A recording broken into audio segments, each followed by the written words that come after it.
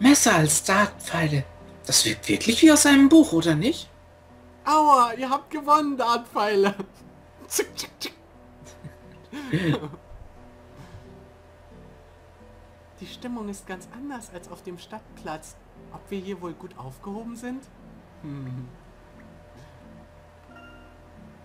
Ich hoffe, dass er sich nicht einfach lockert und dann herunterfällt. Ist das schon mal irgendwo passiert in einem Layton? War das Wenn dann im Casino vielleicht. Ja. Könnte es sein. Wie hübsch. Man sieht so einen Kronleuchter nicht jeden Tag in dieser Gegend. Äh, wenn Maya hier wäre, würde sie sicher versuchen, hochzuspringen und eine Kerze mit. Wie Emmy damals. ja. Moment. Warum würde sie hochspringen und eine Kerze mitnehmen wollen? Damit sie Feuer hat. Huch. Was? so ein Quatsch. kommt, kommt Maya dann so an. Kann mir mal jemand Feuer geben? So, hier haben wir erstmal die anscheinend Chefin. Hey ho, Chefin! Ich habe ein paar Gäste für euch mitgebracht. Hi. Ein bisschen leiser bitte. Aber du vertreibst noch meine anderen Gäste. Äh, nee, oder du vertreibst noch meine anderen Gäste. Du bist im Haus. Schon vergessen? You're in the house. genau, Maya springt an den Kronleuchter und sagt, Na gut, Kerze, du hast gewonnen. Was? ah. Äh, Gäste, sagst du? Das kommt überraschend und ich weiß, es sind nur ein paar Kinder, aber der Junge hier hat mein Leben gerettet. Sei doch so lieb und bring dem Jungen einen Saft. Der geht auf mich, der Junge. Nach dem Saft. Schreib's einfach auf meine Rechnung. Das ist mir egal. Hast du dir das Mädchen angesehen? Was hast du dir dabei gedacht? Was hat die denn da? Eine Bombe? Oder ist das... Nee, was ist denn das? Noch ein Flachmann sein. Das ist na, gar nichts. Das ist ihr Handschuh einfach. Ach so. Oh, ach, die hat so einen Handschuh. Glaube ich zumindest, oder? ja. hm. Hey, jemand sieht mich jetzt wieder scharf. Ich bin ja auch immer scharf. ähm, nein. Hm. Ähm, funktioniert jetzt nicht. Was? Was? Nix. oh. Hi, hast du etwa Brot zwischen den Ohren? Du Narr? Was? Das Mädchen wird verdächtig, die große Hexe Aquana zu sein. Ah, ah, ah, ah. Flamara? Mach mit sowas keine Witze. Ich hatte keine Ahnung. Wartet mal, Sophie ist nicht Rosana. Wir haben ihre Unschuld bewiesen. S siehst du, Chefin? Der Junge sagt auch, dass sie nicht, äh, Tangela ist. Was? Tangela passt nicht. Die große Hexe Tangela. ist, äh, äh, gegen die große Hexe Tangela ist übrigens sehr effektiv. Das kleine Feuer, das mittlere Feuer, das große Feuer und Aber es ist kein Kraut gegen sie gewachsen. Und überhaupt wusste ich sofort, dass dieses Mädchen unschuldig sein muss. Stimmt, da hat jemand was im Chat gepostet, was ich auch noch auf meiner Liste hatte. Was?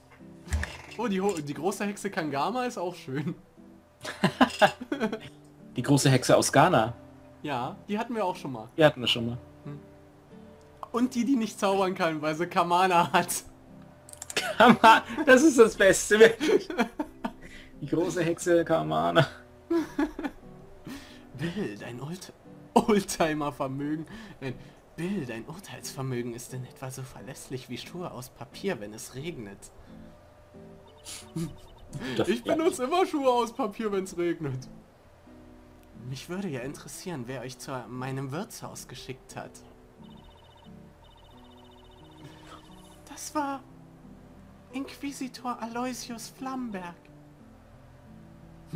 Ei, äh, Ei? Also war er es.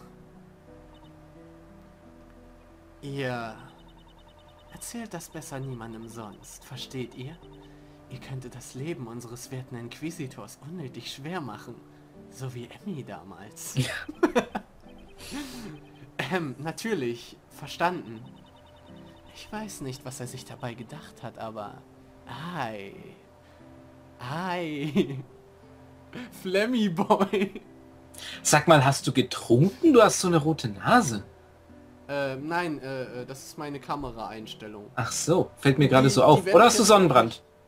Nein, das auch nicht. Ich bin doch, ich, ich also ich äh, bin, ich, ich hab vom Willians Flasche gekostet. Ich helfe euch. So wie Emmy damals. Ihr Kann mich könnt auch ein bisschen heller machen. Ja, könntest du. Aber ich, ich lasse es, wir machen ja sowieso nicht mehr lange, ne? In eine Lichtgestalt. Ja, lass ruhig. Ihr könnt die Nacht hier verbringen. So Das wirft hier einen unvorteilhaften. Schatten. Mhm. Mach's wieder so. Ich habe oben ein leeres Zimmer, in dem ihr schlafen könnt. Mit mir.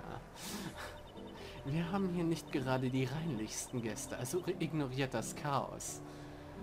Zum Schlafen sollte es allemal reichen. Äh, danke vielmals, glaube ich. Danke für eure äh, Hilfe. Ähm, vielen Dank für eure Hilfe. Die große Hexe Lex Luthor, wie wäre das denn?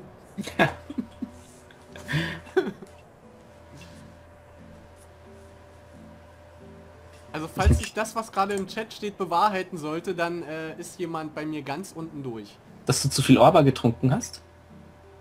Hm? Dass du zu viel Orba getrunken hast? Nein, was anderes, was weiter unten steht. Wenn das jetzt stimmt, oh, dann stimmt. Wenn das jetzt stimmt, dann dann gibt's. Foreshadowing. Naja, Das gut, dürfen ist nur es, wir machen. Dann ist das Foreshadowing, okay. Wenn so ist. Würde aber passen, wegen den Freut euch, roten Haaren. nichts. freut euch Kinder, äh, nee, morgen Kinder wird's was geben. Also freut euch nicht zu früh. Ich habe hier etwa, äh, nichts zu verschenken. So wie Emmy damals. Ich erwarte, dass ihr euch für diesen Gefallen eines Tages erkenntlich zeigt. So wie, äh, ja. Puh, bin ich froh, dass Barbara Rossa so eine nette Frau ist. so wie, ähm, ja, okay. Wir wollen es ja nicht overusen, sondern nur an bestimmten Stellen haben. Ja, Ja. Herr Hauer und Frau Rosser sind beide sehr nett. Sieht so aus, als könnten wir uns heute ausruhen, nicht wahr, right? Ja, wir können die Zeit für ein paar Nachforschungen nutzen. Nein, wir sollen uns ausruhen. Eben. Oh, ja, stimmt. Hä? Habe ich Ja. das gerade... Ich habe das... Ja. Ich habe das nicht mal gelesen. Foreshadowing. Unmöglich. Oh, ich fasse es nicht. So, solange wir noch können. Morgen wird wohl ein sehr hektischer Tag. Großartige Idee. Ich kann Ihnen da nur zustimmen. Oh, das steht da ja wirklich. Ich habe es gar nicht gelesen. Hey. Hey. Das war bei mir wirklich so. Ich habe da erst auf den Text geguckt und gemerkt, er hatte... Das, ich fasse das nicht. So, ein Rätsel nicht. Hey Junge, dieses Wirtshaus ist ein Ort, an dem Leute wie du, äh, wie ich sich wie zu Hause fühlen können. Leider nicht Leute wie du, aber das ist mir ja egal. Die Chefin hilft immer allen, die in Schwierigkeiten geraten. Ich weiß, sie wirkt ein bisschen ruppig, wenn man sie gerade kennengelernt hat, aber am Ende hilft sie doch immer allen. Auch bei gewissen anderen Sachen, aber das kostet extra. Alle hier würden für Barbara ihre Hand anlegen, richtig? Woran anlegen? Das ist ja Das große Feuer.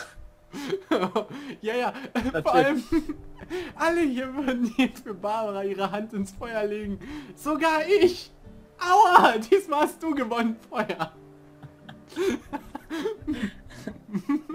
Oder das hätte genauso gut jetzt so Dings machen können hier, Bill Hauer. Aua, du hast jetzt gewonnen, Feuer. Aber ich würde meine Hand wieder für sie in dich legen. Für sie in dich. So wie in Emmy damals. Oh. Darauf kannst du einen Besen fressen. Und ähm, es schadet natürlich nicht, einen Besen zu fressen. äh, dass sie so gut aussieht, richtig? Ich ähm, verstehe nicht ganz, was ihr sagen wollt. so wie bei Emmy damals.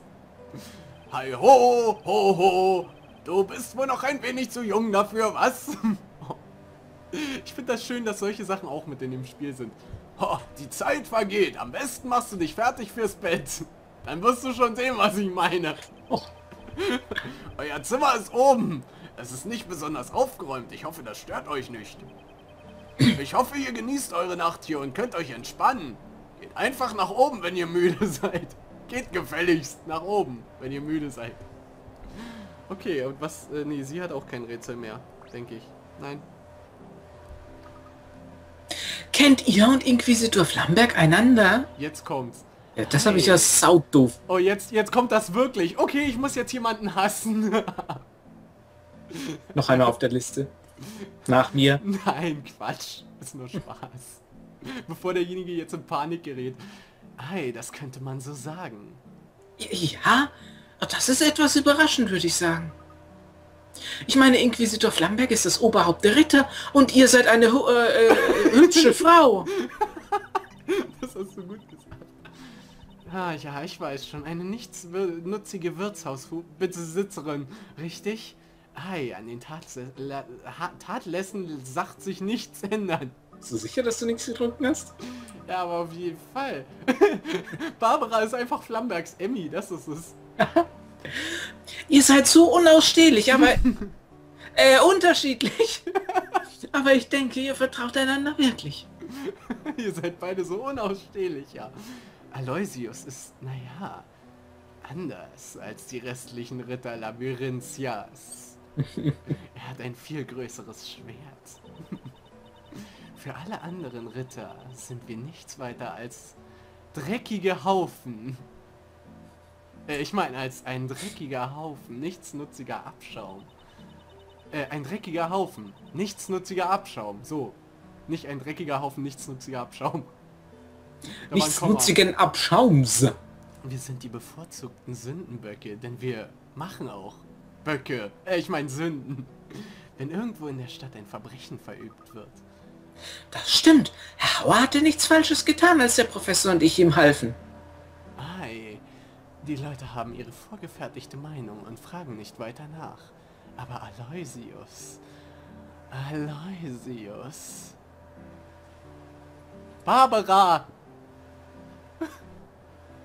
Was? Achso! Herr Flamberg! Lu!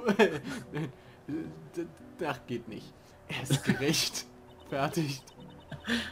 Er bildet sich kein Urteil, nur weil jemand zwielichtig oder schuldig aussieht, so wie Emmy damals.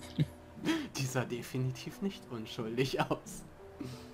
Oder wegen der Arbeit, die jemand verrichtet an ihm. Er versucht nur, die Stadt mit gerechten und guten Methoden zu schützen. Deshalb hilft er uns immer. Interessant. Das heißt, er ist gar kein schlechter Kerl. Das habe ich nicht gesagt. äh, hm? Hast du etwas gesagt? Äh, nichts. Ist nicht so wichtig. Hi, ich verstehe. Versuch dich etwas auszuruhen, ja? Wenn Aloysius gesagt hat, ihr sollt euch hier verstecken, denke ich nicht, dass die Ritter hier nach euch suchen werden. Vielleicht war es eine Falle. Und selbst wenn sie das tun, würden wir euch nicht ausliefern. Wir würden nicht lebendig kaufen. jedenfalls. Nicht, nicht, nicht umsonst. Oder so. In Ordnung. Danke nochmal, Frau Rosser, damit, dass Sie mit uns Menschenhandel betreiben. Ihr seid wirklich sehr nett. Hey, für so einen kleinen Kerl. Weißt du wirklich, wie man selbst in Schwierigkeiten gerät? Nein, in, wie man selbst in schwierigen Zeiten einen klaren Kopf behält. Im Gegensatz dazu, was ist denn mit deinem Freund dort los? Er hat kein einziges Wort gesagt, seitdem ihr hier seid. Das ist in Ordnung. Ich bin mir sicher, er wird sich morgen schon viel besser fühlen. Weil er dann drüber hinweggekommen ist, dass seine Geliebte verbrannt wurde. Hi. Okay, äh, wir können uns also eigentlich auch bewegen da drin. In das Zimmer. Und hier Ja. gibt es sogar ein verstecktes Rätsel. Dann machen wir das noch. Machen wir das noch. Machen wir noch. Uh, sieht ja hübsch aus. Sieht ein bisschen aus wie die Chatoudier-Chatube. Von Bill Hauer. Beziehungsweise der Keller. Chetatu in Chetube. Von Bill Hauer. Das muss das Zimmer sein, von dem Frau Rossa gesprochen hat, oder?